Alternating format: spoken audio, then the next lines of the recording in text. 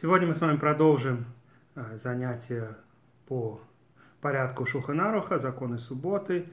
И в следующей главе Шинламед 2, вы немножко Шинламед Зайн, 336 и 337 главы Шуханаруха.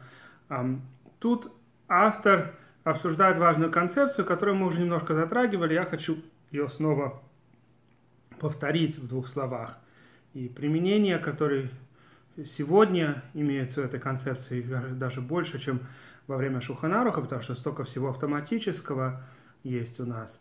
Эм, значит, есть концепция, что в субботу Тора нам запретила делать именно работу, которая делается, э, например, руками, да, какой-то акцией человеческой. Но то, что происходит э, автоматически своего рода, э, как результат того, что мы делаем – если это может произойти, а может не произойти, и человек не пытается этого результата добиться, то эта работа не считается. Так мы постановляем. Это на самом деле был диспут во время еще мудрецов Мишны, да, Раби Шимон и Раби Игуда спорят об этой концепции. Это называется «давар шейна митковен», то, что человек не хочет. Вот классический пример, который приводит Шуханарух, это человек, который идет по траве. И может быть трава вырывается, и может быть трава не вырывается – Ему это все равно, и это не, не обязательно произойдет. Поэтому это разрешается. Есть, конечно, тысячи примеров сегодня. Барух Хашем, что Халаха как Раби Шиман, потому что иначе было бы очень сложно многие вещи делать, потому что во многих ситуациях мы что-то делаем, что может привести, ну, ты, скажем, вытираешь руки а, бумажной салфеткой, и она иногда рвется при этом. Есть тысячи примеров, когда что-то делаешь, что может привести к работе. Но если это не сто процентов, что работа произойдет, и тебе это не нужно, то тогда это все разрешается в шаббат. Казалось бы, тогда можно было бы и э, использовать расческу в субботу, чтобы эм, причесать волосы. Почему же это нельзя? Хотя бы обычным образом. Там есть какие-то мягкости насчет каких-то эм, расчесок, не сделанных из, эм, из эм, там, пластика или металла, какие-то на, с помощью конского волоса, какие-то есть там мягкости. Ну, в общем, обычное причесывание, обычной расческой, без сомнения, в шаббат нельзя делать. Казалось бы, это тоже даваршена меткавен. На самом деле здесь немножко сложнее, потому что человек на самом деле хочет, когда он расчесывает волосы, чтобы те волосы, которые плохо держатся, оторвались и ушли. Да, он их пытается вы, вычистить, поэтому это не совсем похоже на человека, который идет, скажем, по траве, и ему все равно, что трава оторвется или не оторвется, даже он бежит по траве. Но тем не менее, вот все, что 100% произойдет, да, это называется у них псикрейша.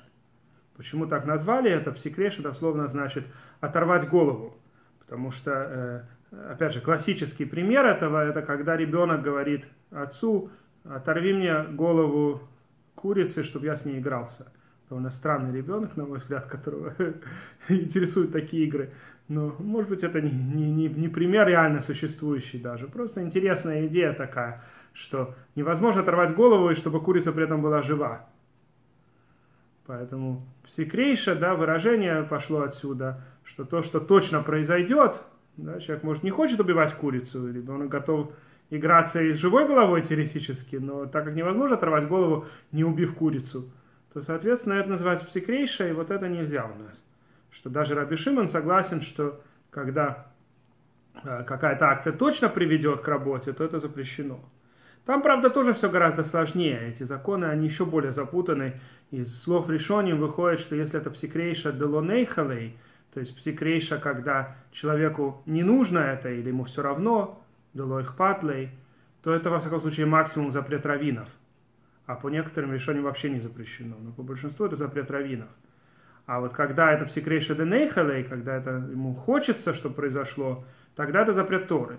То есть, когда ты делаешь акцию, которая точно произойдет – и ему это еще и вдобавок приятно, ему так хочется, то это будет запрещено из Торы.